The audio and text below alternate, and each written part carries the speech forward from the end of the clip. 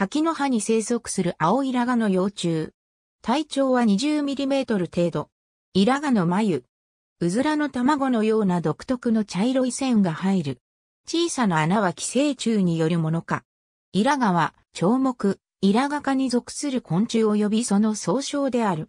ハチクマ、オキクサン、シバムシ、キントキ、電気虫、ヤツガシラ、オコゼ、イタイタイムシとも称され、その他に数十の地方名がある。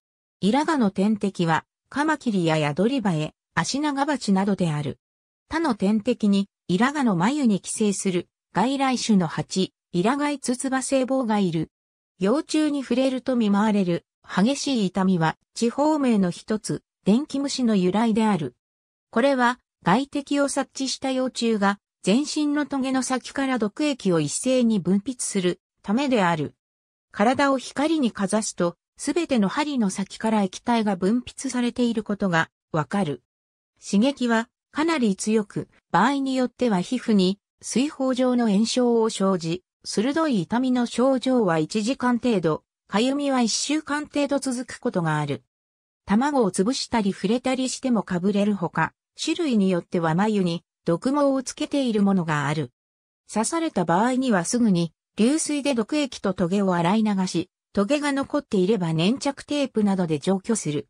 その後、市販の虫刺されの治療薬を塗ると良い。症状がひどい場合や目に入った場合には、医師の治療を受ける。正確な毒成分は解明されていないが、ヒスタミンや様々な酵素を成分とした非酸性の毒だとされている。中は目的にアンモニア水を塗っても効果はなく、高ヒスタミン剤やアロエの葉の汁を塗布するのが有効とされる。